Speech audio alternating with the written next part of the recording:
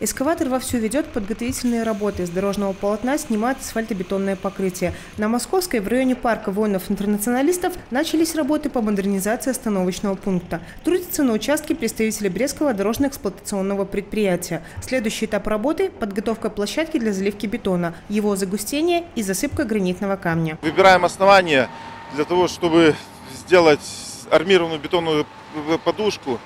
В дальнейшем на на эту бетонную подушку будет укладываться, ну, э, укладываться плитка, э, гранитная плитка на раствор. Поэтому на период проведения ремонта дорожного покрытия остановочный пункт временно закрыт. Планируется, что все работы будут выполнены в течение месяца. Специфика данного участка не позволяет сделать временную остановку. Модернизация остановочных пунктов по такому типу началась в городе над Бугом год назад. Первые работы велись на улице Машерова. Модернизация ведется за счет средств Республиканского фонда. Стоимость одного остановочного пункта варьируется в районе 100 тысяч рублей. Это улица Московская, она самая напряженная, и все, практически все автобусные остановки на ней находятся в очень плохом состоянии.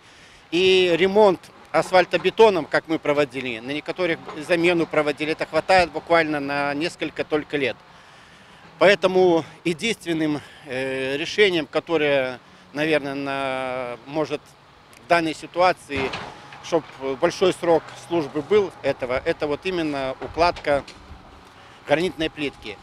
Э, на других улицах еще укладывается бетонная плитка, но здесь именно было принято решение гранитная плитка, хоть это и дороже, но срок службы, в принципе, она вечная. Такой тип покрытия показывает свою эффективность, и если в первое время возникали вопросы с тем, насколько оно будет удобно для транспорта, то практика показала, что нареканий от водителей нет. Планируется, что часть дорожного полотна на остановочных пунктах заменят на всей протяженности улицы Московская.